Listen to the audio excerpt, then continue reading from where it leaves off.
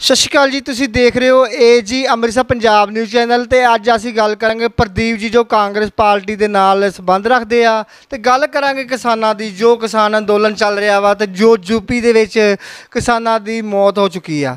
Sir, ਸਤਿ ਸ਼੍ਰੀ ਅਕਾਲ ਜੀ।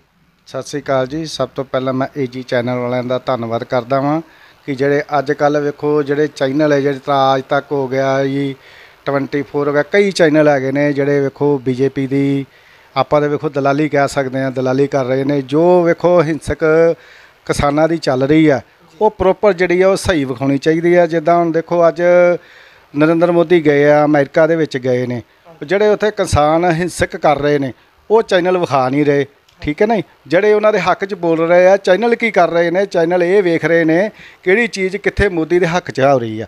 ਉਹ ਚੈਨਲ ਅੱਜ ਕੱਲ ਵਿਖਾ ਰਹੇ ਨੇ। ਹੁਣ ਕਿਸਾਨ ਵੇਖੋ ਜੰਤਰ ਮੰਤਰ ਧਰਨੇ ਤੇ ਬੈਠੇ ਆ, ਠੀਕ ਆ? ਉਹਨਾਂ ਦੇ ਬੱਚੇ ਵੀ ਆ ਗਏ ਨੇ। ਬੱਚੇ ਵੀ ਆ ਗਏ ਨੇ। ਜੇ ਕਾਨੂੰਨ ਕਾਲੇ ਕਾਨੂੰਨ ਨੇ, ਤਿੰਨ ਰੱਦ ਨੇ, ਪਹਿਲਾਂ ਇਹ ਪੰਜਾਬ ਦੇ ਵਿੱਚ ਹਿੰਸਕ ਛਿੜੀ ਆ, ਫਿਰ ਹਰਿਆਣੇ 'ਚ ਵੀ ਛਿੜੀ ਆ ਹੌਲੀ ਹੌਲੀ ਪੂਰੇ ਪੰਜਾਬ ਦੇ ਵਿੱਚ ਛਿੜ ਗਈ ਆ। ਤੇ ਮੋਦੀ ਨੂੰ ਚਾਹੀਦਾ ਕਿ ਜਿਹੜੇ ਤਿੰਨ ਕਾਲੇ ਕਾਨੂੰਨ ਆ, ਇਹ ਵਾਪਸ ਲੈ ਲੈਣੇ ਚਾਹੀਦੇ ਆ। ਅੱਜ ਪੂਰੀ ਹਿੰਦੁਸਤਾਨ ਦੀ ਜਨਤਾ ਜਿਹੜੀ ਆ, ਉਹ ਕਿਸਾਨਾਂ ਦੇ ਨਾਲ ਚੱਲ ਗਈ ਆ। ਇਸ ਕਰਕੇ ਹੱਥ ਜੋੜ ਕੇ ਬੇਨਤੀ ਹੈ ਨਰਿੰਦਰ ਮੋਦੀ ਨੂੰ, ਇਹ ਜਿਹੜੇ ਤਿੰਨ ਕਾਲੇ ਕਾਨੂੰਨ ਆ, ਇਹ ਵਾਪਸ ਲੈ ਲੈਣੇ ਚਾਹੀਦੇ ਆ। ਇਹਦੇ ਨਾਲ ਬਹੁਤ ਨੁਕਸਾਨ ਹੋ ਸਕਦਾ ਪੂਰੇ ਹਿੰਦੁਸਤਾਨ ਨੂੰ। ਪਰ ਜੇ ਗੱਲ ਕਰੀਏ ਸਰ ਆਪਾਂ ਬਾਰ-ਬਾਰ ਭਾਰਤੀ ਜਨਤਾ ਪਾਰਟੀ ਵੱਲੋਂ ਇਹ ਕਿਹਾ ਜਾ ਰਿਹਾ ਵਾ ਕਿ ਉੱਥੇ ਅੱਤਵਾਦੀ ਬੈਠੇ ਜਿਹੜੇ ਕਿਸਾਨ ਹੈਗੇ ਆ ਉਹ ਤੇ ਆਪਣੇ ਘਰਾਂ ਦੇ ਵਿੱਚ ਕੰਮ ਕਰ ਰਹੇ ਆ। ਉੱਥੇ ਅੱਤਵਾਦੀ ਬੈਠੇ ਜਿਹੜੇ ਕਿ ਕੰਮ ਅ, ਪੈਸਾ ਲੈ ਕੇ ਕੁਝ ਉੱਥੇ ਵਰਕਰ ਵੀ ਬਿਠਾਏ ਹੋਏ ਆ। ਇਸ ਬਾਰੇ ਤੁਸੀਂ ਕਹਿਣਾ ਚਾਹੁੰਦੇ ਹੋ? ਦੇਖੋ ਜੀ ਇਹ ਅੱਤਵਾਦੀ ਪਾਰਟੀ ਬੀਜੇਪੀ ਕਹਿ ਰਹੀ ਆ। ਇਹ ਨਰਿੰਦਰ ਮੋਦੀ ਦੇ ਸਾਰੇ ਜਿੰਨੇ ਵੀ ਹੈਗੇ ਪਹਿਲੀ ਗੱਲ ਤੇ ਨਰਿੰਦਰ ਮੋਦੀ ਨੇ ਬੀਜੇਪੀ ਪਾਰਟੀ ਖਤਮ ਕਰ ਦਿੱਤੀ ਹੋਈ ਆ। ਵੇਖੋ ਇਹਨਾਂ ਨੇ ਆਪਣੇ ਪੁਰਾਣੇ ਜਿੰਨੇ ਵੀ ਇਹਨਾਂ ਦੇ ਹੈਗੇ ਸੀ, ਪਾਰਟੀ ਦੇ ਵਰਕਰ ਸੀ, ਮੈਂਬਰ ਹੀ ਕਾਇਆ ਕਰਤਾ ਸੀ। ਉਹ ਸਾਰੇ ਇਹਨਾਂ ਨੇ ਪਾਰਟੀ ਦੇ ਵਿੱਚੋਂ ਵੱਖਰੇ ਕਰਤੇ ਆ। ਤੁਸੀਂ ਵੇਖੋ, ਸਾਰਾ ਹਿੰਦੁਸਤਾਨ ਵੇਖਣ ਦਿਆ ਹੈ ਇਹਨਾਂ ਨੇ ਅਡਵਾਨੀ ਨੇ ਕੀ ਕੀਤਾ? ਜਸਵੰਤ ਰਾਜ ਸੈਨਾ ਨੇ ਕੀ ਕੀਤਾ? ਇਹਨੇ, ਇਹ ਨਰਿੰਦਰ ਮੋਦੀ ਦੀ ਇੱਕ ਆਪਣੀ ਚਾਲ ਹੈ, ਇਹਨੇ ਆਪਣੀ ਪੁਰਾਣੀ ਪਾਰਟੀ ਖਤਮ ਕਰਕੇ ਆਪਣੀ ਇੱਕ ਨਵੀਂ ਪਾਰਟੀ ਤਿਆਰ ਕਰ ਲਈ ਹੈ ਨਰਿੰਦਰ ਮੋਦੀ ਨੇ। ਅੱਜ ਇਹਨੇ ਕਿਸਾਨਾਂ ਦੇ, ਵੇਖੋ, ਹਰਕ ਦੇ ਵਿੱਚ ਇਹਨੂੰ ਅੱਤਵਾਦੀ ਕਹਿ ਰਹੇ ਆ। ਦੇਖੋ ਪੂਰਾ ਹਿੰਦੁਸਤਾਨ ਦੇ ਵਿੱਚ ਰਿਸਰਚ ਕਰਾ ਲੇ ਕੋਈ ਬੰਦਾ ਮੇਰੇ ਖਿਆਲ ਕਿਸਾਨਾਂ ਨੂੰ ਅੱਤਵਾਦੀ ਨਹੀਂ ਕਹੇਗਾ ਸਾਡਾ ਅੰਨਦਾਤਾ ਹੈ ਕਿਸਾਨ। ਕਿਸਾਨ ਸਾਡਾ ਅੰਨਦਾਤਾ ਹੈਗਾ ਹੈ, ਅੱਤਵਾਦੀ ਨਹੀਂ ਹੈਗਾ। ਉਹ ਆਪਣੀਆਂ ਹੱਕ ਲਈ ਆਪਣੀ ਮੰਗਾਂ ਲਈ ਅੱਜ ਉਹ ਧਰਨਿਆਂ ਤੇ ਬੈਠਾ ਆ।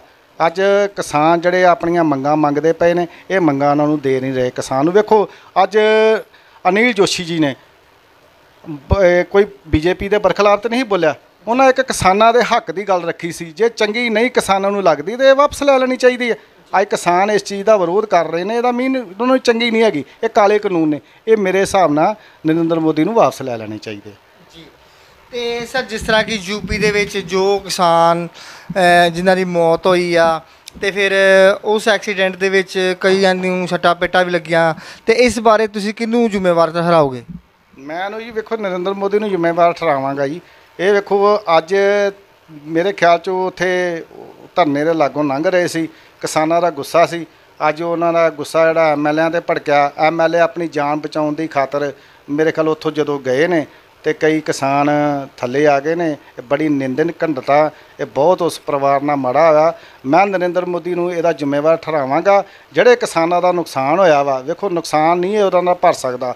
ਉਸ ਪਰਿਵਾਰ ਨੂੰ ਨੌਕਰੀਆਂ ਦਿੱਤੀਆਂ ਜਾਣ।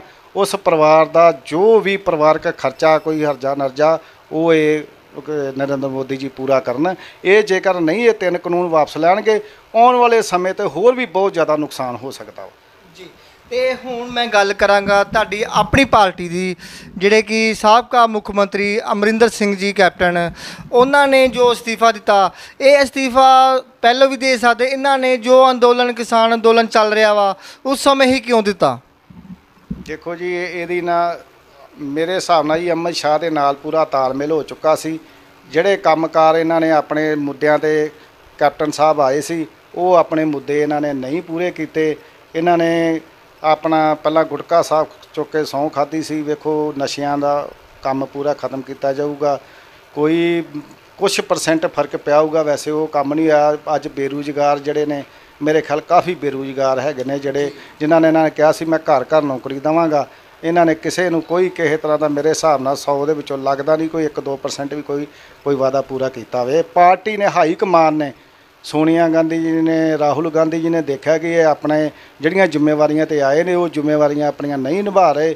ਉਹਨਾਂ ਚੰਨੀ ਜੀ ਨੂੰ ਠੀਕ ਸਮਝਿਆ ਨਾਲ ਇੱਕ ਦਲਿਤ ਜੀ ਨੇ ਮੈਂ ਇੱਥੇ ਚੰਨੀ ਜੀ ਦੀ ਗੱਲ ਕਰਾਂਗਾ। ਮੁੱਖ ਮੰਤਰੀ ਚੰਨੀ ਜੀ ਇੱਕ ਦਲਿਤ ਪਰਿਵਾਰ ਦੇ ਨਾਲ ਸੰਬੰਧ ਰੱਖਦੇ ਆ। ਪਰ ਜੇ ਆਪਾਂ ਨਵਜੋਤ ਸਿੰਘ ਸਿੱਧੂ ਵੱਲ ਦੇਖੀਏ ਤਾਂ ਉਹ ਰੰਧਾਵਾ ਜੀ ਨੂੰ ਭਾਜੀ ਭਾਜੀ ਤੇ ਜਿਹੜੇ ਕਿ ਚੰਨੀ ਜੀ ਇੱਕ ਮੁੱਖ ਮੰਤਰੀ ਨੇ ਉਹਨਾਂ ਨੂੰ ਇੱਕ ਆਪਣਾ ਛੋਟਾ ਭਰਾ ਦੱਸਦੇ ਆ। ਇਹ ਕੀ ਕਾਰਨ ਆ? ਕਿਉਂ ਇਦਾਂ ਕਰ ਰਹੇ ਆ? ਘਰ ਦੇ ਵਿੱਚ ਵੇਖੋ ਜੀ, ਹੁਣ ਦੋ ਪਰਿਵਾਰ ਦੋ ਪਰਿਵਾਰ ਆ ਜੀ। ਇੱਕ ਪਾਰਟੀ ਹੈ, ਪਰਿਵਾਰ ਹੈ ਇਹਨਾਂ ਦਾ ਆਪਸੀ ਜੀ। ਜੇ ਉਮਰ 'ਚ ਵੱਡੇ ਆ ਤੇ ਉਹਨਾਂ ਨੂੰ ਭਾਜੀ ਕਹਿਣਗੇ, ਉਮਰ 'ਚ ਵੱਡੇ ਨੇ ਉਹਨਾਂ ਦੇ, ਇਸ ਕਰਕੇ ਉਹਨਾਂ ਦਾ ਮਾਨ ਸਤਿਕਾਰ ਕਰਦੇ ਨੇ। ਪਾਰਟੀ 'ਚ ਵੀ ਇੱਕ ਉਹ ਸੀਨੀਅਰ ਨੇਤਾ ਰਹੇ ਨੇ, ਜਿਨ੍ਹਾਂ ਨੂੰ ਭਾਜੀ ਭਾਜੀ ਕਰਦੇ ਨੇ। ਕੋਈ ਇਹ ਪਾਰਟੀ ਦਾ ਆਪਣਾ ਮਸਲਾ ਹੈਗਾ ਜੀ। ਤੇ ਪਰ ਜੇ ਆਪਾਂ ਉਹਦਾ ਦੇਖੇ ਜਾਈਏ, ਇਸ ਟਾਈਮ ਜਿਹੜੇ ਮੁੱਖ ਮੰਤਰੀ ਚੰਨੀ ਜੀ, ਉਹਨਾਂ ਦਾ ਅਹੁਦਾ ਤਾਂ ਕਾਫੀ ਵੱਡਾ ਵਾ। ਕਿ ਛੋਟਾ ਭਰਾ ਕਹਿਣ ਤੋਂ ਬਜਾਏ, ਉਹਨਾਂ ਨੂੰ ਮੁੱਖ ਮੰਤਰੀ ਜੀ ਵੀ ਕਹਿ ਸਕਦੇ ਆ? ਕਹਿੰਦੇ ਆ ਜੀ, ਉਹਨਾਂ ਨੂੰ ਮੁੱਖ ਮੰਤਰੀ ਦਾ ਮਾਨ ਸਤਿਕਾਰ ਵੀ ਦਿੰਦੇ ਆ ਜੀ।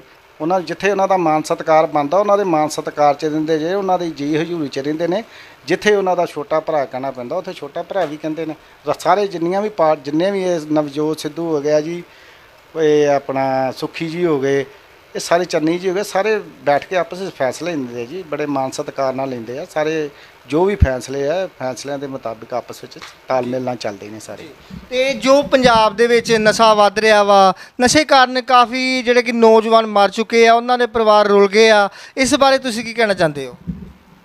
ਦੇਖੋ ਜੀ ਇਹ ਜਿਹੜਾ ਨਸ਼ਾ ਹੈ ਕਾਫੀ ਚਿਰ ਤੋਂ ਚੱਲਦਾ ਆ ਰਿਹਾ ਜੀ ਇਹ 10 ਸਾਲ ਮੇਰੇ 10 15 ਸਾਲ ਹੋ ਗਏ ਆ ਨਸ਼ਾ ਕਾਫੀ ਚਿਰ ਤੋਂ ਚੱਲਣ ਦਿਆ ਹੈ। ਜਿਹੜੇ ਪਰਿਵਾਰਾਂ ਦੇ ਜੀ ਚਲੇ ਗਏ ਨੇ ਵੈਸੇ ਤੇ ਵੇਖੋ ਜੀ ਬਹੁਤ ਮਾੜਾ ਆ ਉਹਨਾਂ ਦੀ ਭਰਪਾਈ ਨਹੀਂ ਆਪਾਂ ਕਰ ਸਕਦੇ।